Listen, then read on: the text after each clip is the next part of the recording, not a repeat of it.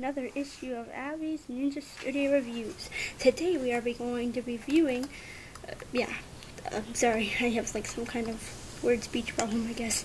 Um, today we're going to be reviewing King's Big Escape, and start with these things. Um, these things actually come off. Oops. Ugh, okay,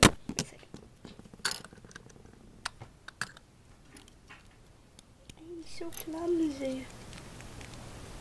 There we go. Okay, there's that. There's the bottom part, and then this thing. They have flick missiles, so you can like flick them and it shoots out. Um, yeah, actually, I kind of hit my brother in the eye last time I did it, so I'm not allowed to flick them in the house anymore. But, um, oops, okay, um,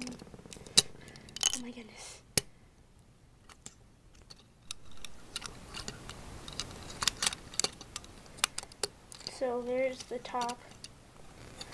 And that just goes back on the little peg thing.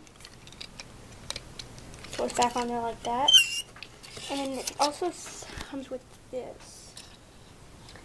I like these little interactive sets, like the Karai Bike Escape thing. You just hold that down there and it flips up.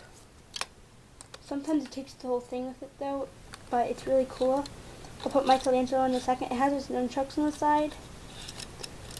I just keep them there because it's like how it's supposed to be, I guess. And then it comes with this. It did have a yellow handle, but I kind of lost it, so I replaced it with one of my extra parts. And we have the computer thing right there. There's the top view. In the Lego magazine, they did have a comic with it, but there was a pizza on top. There wasn't this thing. I guess it was kind of weird. But then we'll move to, to the minifigures. First, we have Michelangelo. His nunchucks are right there, so I didn't really know. But, um, he's really cool. He has, like, a bruise thing on his chest right there. Yeah, sorry about the camera again, but, um, I like how smiley he is. I like how the bandanas aren't really stuck to the head. They're actually hanging off. His shell is just like Raph's. He has the same minifigure legs as all the turtles, basically, except for the Bruce Leonardo and the Karai Bike Escape and just looks really cool. Then next is Kraang. Kraang is like a really cool, it has like a minifigure head and you just put it up there in that plastic piece.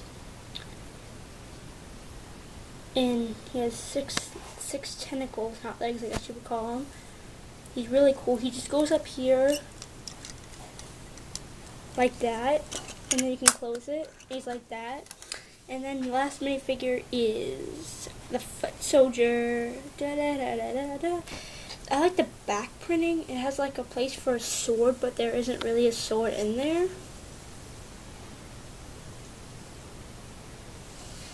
I like how it actually has the foot emblem on in the middle of the red bandana. And I like how it has like the wasp eyes and it has that little symbol right there. I have yet to, I think that's just a to hold the ropes together, and it comes with this chain weapon. I wish there were kind of like actual chains, like the nunchucks chains, but that's fine as that is.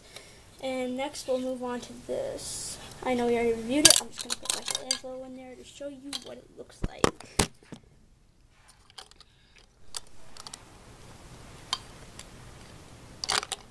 Okay.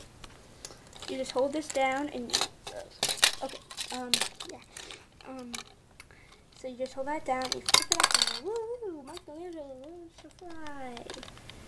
So, anyway, thank you for this is the third video of mine, and I'm hoping that I will have the support of all you. This is new to me.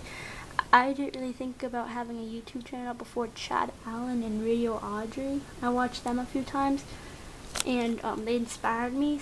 So soon I'll be doing blind bag um, Saturdays, I think it is, and I'll do like a Wednesday toy thing, I guess. But um, Lego reviews I'll probably do whenever I come up with them. So, I'll be out.